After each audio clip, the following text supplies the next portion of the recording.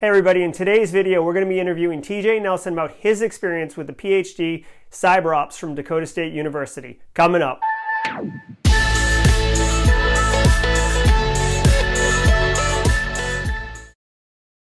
Hey everybody, welcome back to Simply Cyber. If you're new here, thanks for stopping by. Just so you know, this channel is designed for people trying to get into information security or if they're already there, to take their career further faster. I had made a video about my experience with DSU's PhD Cyber Ops program, and it actually was really well received by the community. I recently interviewed TJ Nelson for my Choose Your Own Adventure series as a malware analyst entry level position. But while I had TJ all mic'd up and the studio equipment set up, I asked if he'd be interested in being interviewed about his experience with the PhD Cyber Ops program.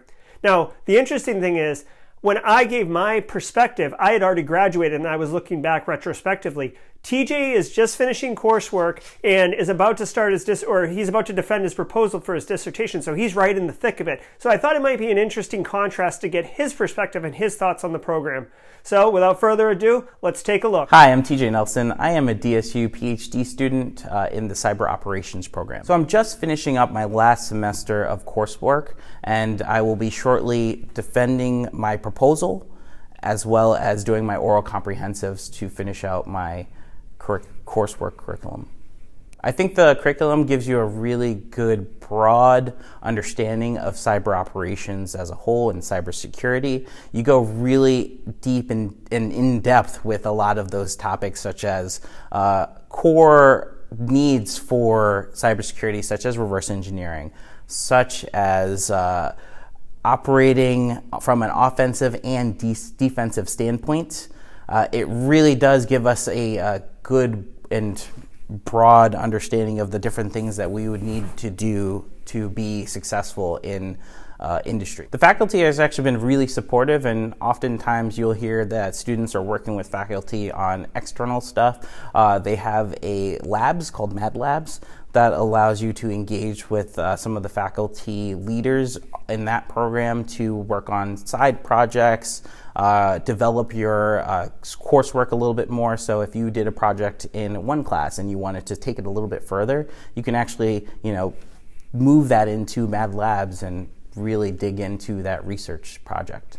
The other students are coming from various uh, backgrounds. So some are coming from academia, and then others are coming from industry. And I think the blend really does help us learn from each other. Uh, half the program is uh, academic research, and that is a very, very uh, strict and uh, rigid way of explaining and understanding knowledge. So, under, getting the understandings from the academic uh, students are really is really helpful for us. And then from an industry side, I'm sure that they like the anecdotal information that we provide for them of what we see in industry and how some of our coursework applies.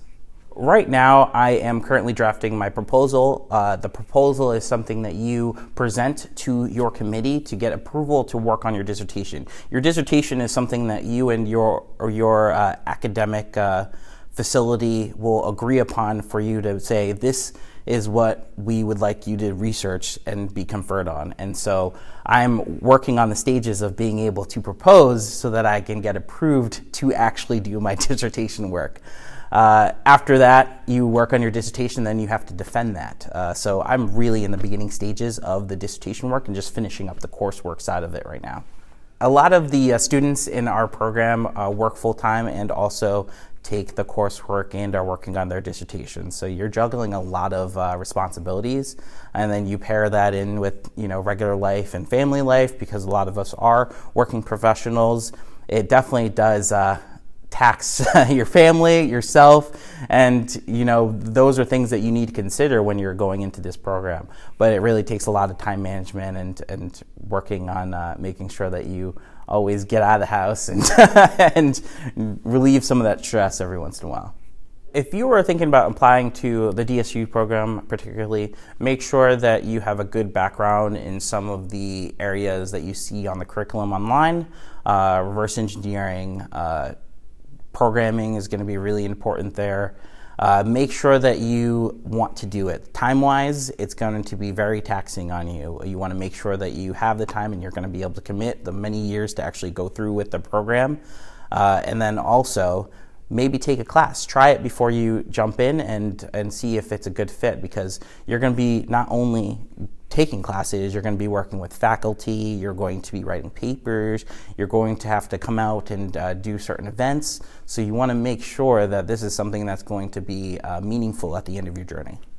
One of the hardest things about being in the program is that we do move through things a lot faster than normal. It's good because we are working professionals and we want to get the work done, but we also don't have uh, time to sort of sit and reflect on the, some of the stuff that we've we've done throughout that time. Uh, a lot of the prior graduates are still involved, and I think that they actually have the best uh, viewpoint because they can actually come in and really get meaningful interactions after the fact, so they don't have homework due next Monday or anything along those lines. So it works out really well for them. I'm going to be really happy to be be in that stage you got to make sure that the program that you sign up for is tailored towards you. I mean, it's really important to look at the curriculum, look at some of the professors that are there, uh, read some of the papers. I think I did a lot of uh, open source intelligence gathering when I was uh, trying to figure out what program I wanted to be in, and th- they're all not the same. They're all very, very different, and they offer very different things. And if you want to go more theoretical, you need to find a program that's more like that. If you want to be more practical, you need to find a program that's more like that. Thanks a lot, TJ. Really appreciate you giving your perspective and your time on that interview. Now, for you watching, this is a second uh, interview of a review of kind of the, the program. I myself did one, which I'll link to right there, uh, on my experience as a graduate. And this is, you know, TJ in the middle of the program. So hopefully uh, you can uh, be better informed and have more perspective on, you know, really what that program is like and what the expectations can be. Until next time, thank you and stay secure.